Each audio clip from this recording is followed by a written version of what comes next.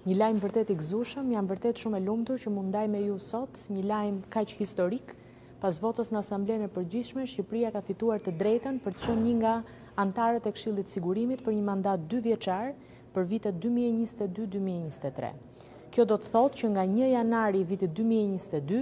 vendi ynë do të jetë anëtar i forumit më të lartë të politikës dhe marrëdhënieve ndërkombëtare ku trajtohen dhe merren vendime për çështjet më të mprehta që shqetësojnë botën sot sa i takon paqes dhe sigurisë. Dua të falenderoj shumë të gjithë ato vende që na mbështetën me votën e tyre, që mbështetën kandidaturën e Shqipërisë. Dua të falenderoj shumë edhe vendet e grupit të Europës Lindore që zgjodhën t'i japin Shqipërisë mundësinë për t'i përfaqësuar në Këshillin e Sigurimit. Po kjo mbështetje nuk është e rastësishme. Në fakt, ajo është konfirmimi më i mirë i respektit dhe i besueshmërisë që gëzon sot Shqipëria si një vend shtyllë stabiliteti në rajon, si eksportues sigurie në misionet paqeruajtëse dhe faktor stabiliteti dhe konstruktiviteti në çdo forum ndërkombëtar ku ka kontribuar. Një falënderim nga zemra shkon për të gjithë ata burra dhe gra, diplomatë dhe politikanë shqiptarë që kanë punuar për vite me radhë për ta arritur këtë fitore kaq të madhe të diplomacisë shqiptare. Fakti që Shqipërisë i jepet për herë të parë mundësia të bëhet pjesë e këtij forumi pas gjashtëdhjetë e pesë vitesh anëtarësi në OKB, ndërkohë që shumë vende të tjera nuk e kanë pasur kurrë një shans të tillë, besoj se ilustron më së miri se çfarë përmasash ka kjo ngjarje. Po përtej gëzimit dhe kënaqësisë krejt legjitime, fakti që na është dhënë një mundësi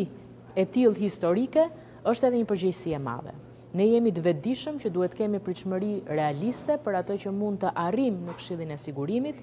por jemi po ashtu edhe optimistë që me një plan të mirë pune, me një strategji dhe objektiva të qarta, me përgatitje serioze për ditën kur do të ulemi në Këshillin e Sigurimit, mund të arrijmë shumë. Sot që flasim, përgatitjet janë duke vazhduar ethshëm dhe jemi në prag të finalizimit të skuadrës që do të përfaqësojë Shqipërinë, pra të gjithë atyre që do të përzgjidhen si diplomatët më të mirë nga shërbimi i jashtëm, por kemi hapur edhe një thirrje për të afruar te kjo skuadër dhe ekspertët më të mirë jashtë sistemit, ata që do të bëhen pjesë të atij që kemi quajtur ekipi i ëndrrave të Shqipërisë në Këshillin e Sigurimit. Nëse punojmë siç duhet, mund të arrijmë shumë për të rritur edhe më tej prestigjin e Shqipërisë si një aktor serioz në arenën ndërkombëtare,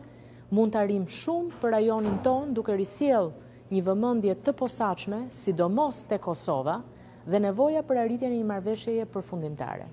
Mund të arrijmë shumë për të shtrirë rrjetin e kontakteve dhe bashkëpunimit me vende dhe organizata ndërkombëtare apo për të çuar përpara prioritetet e zhvillimit të Shqipërisë dhe të rajonit. Mund t'i bëjmë këto duke punuar shumë me ide dhe vizion, duke bashkëpunuar ngushtë me miq dhe partnerë, por mbi të gjitha duke sjellë në Këshillin e Sigurimit eksperiencën dhe modelin shqiptar në trajtimin e sfidave me të cilat përballet sot bota. Në ditët në vijim do të kemi komunikime me publikun për t'i informuar edhe më qartë dhe në mënyrë më të detajuar për të gjithë platformën e Shqipërisë, për përzgjedhjen e ekipit tonë dhe për pritshmëritë tona nga kjo mundësi historike. Urime të gjithëve!